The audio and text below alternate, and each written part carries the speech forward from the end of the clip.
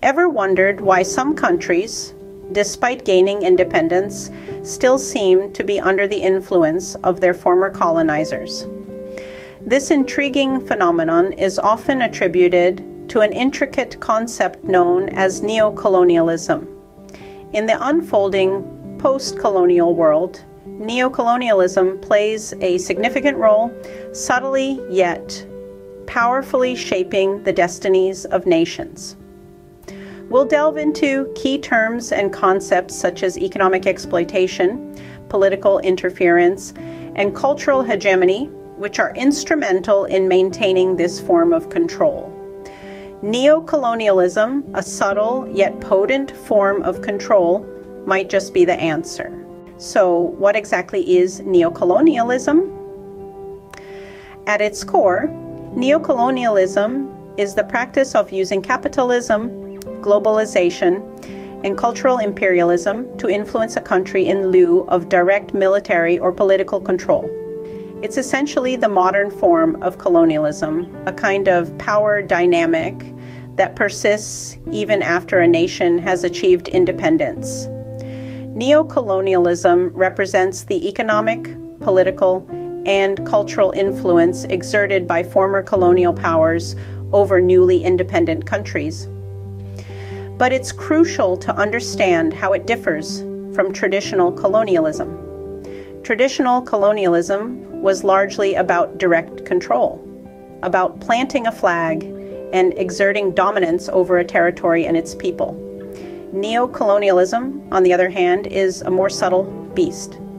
It's about influence and control, yes, but it operates in the shadows, behind the scenes. It's about economic leverage, political manipulation, and cultural dominance. Unlike traditional colonialism, which was visible and territorial, neocolonialism operates behind a facade of independence. Now that we know what neocolonialism is, let's delve into how it actually works. Neocolonialism employs a triad of strategies, the first being economic exploitation. This involves the use of financial muscle by former colonial powers to control the resources and markets of newly independent countries. It's like a puppeteer pulling strings, but instead of marionettes, we're talking about entire economies. Debt bondage, unequal trade relationships, and exploitation of natural resources are just some of the tools in their arsenal. The second method is political interference. This can be as overt as supporting puppet governments or as subtle as manipulating international institutions Imagine a game of chess where one player has the power to change the rules mid game. That's the kind of control we're talking about. Last, but by no means least, is cultural hegemony. This is where the former colonial powers impose their own cultural norms and values onto the newly independent nations, eroding indigenous practices and traditions. It's akin to painting over a beautiful mural with a single, monotonous shade of gray. Let's bring these concepts to life with some examples.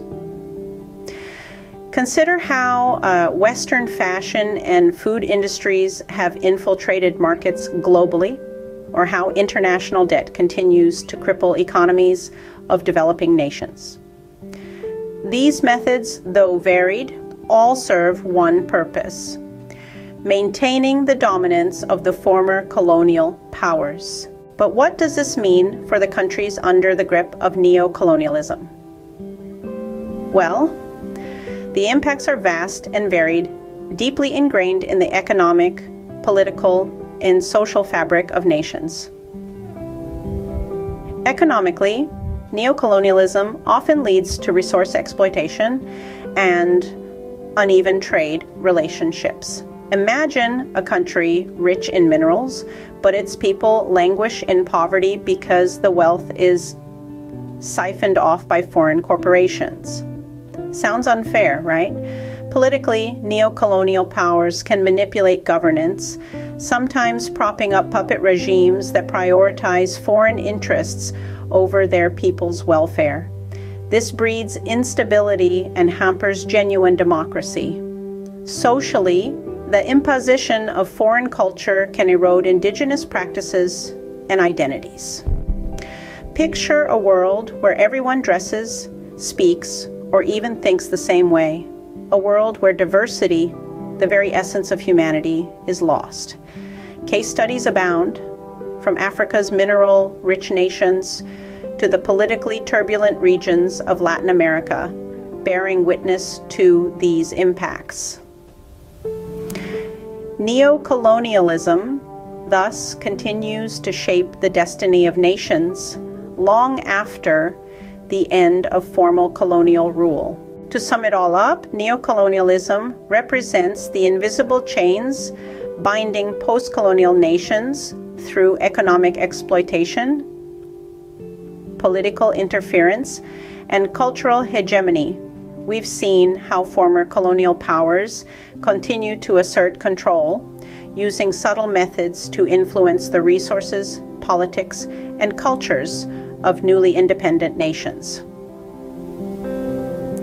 From debt bondage to puppet governments, from exploitation of natural resources to the imposition of Western norms, the tools of neocolonialism are varied and widespread.